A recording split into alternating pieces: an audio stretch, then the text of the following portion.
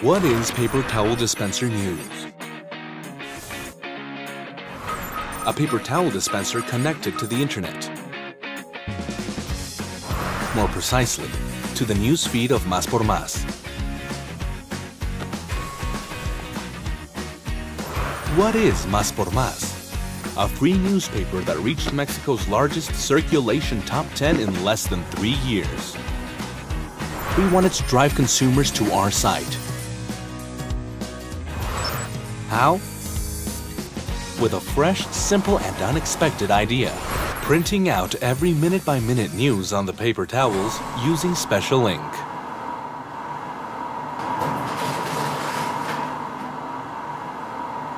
¿Ya viste qué es esto?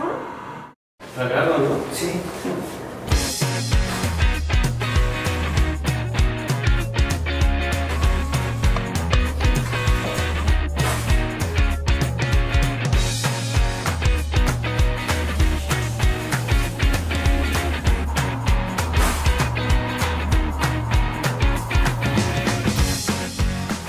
In every printout, there was a QR code which drove people to our site.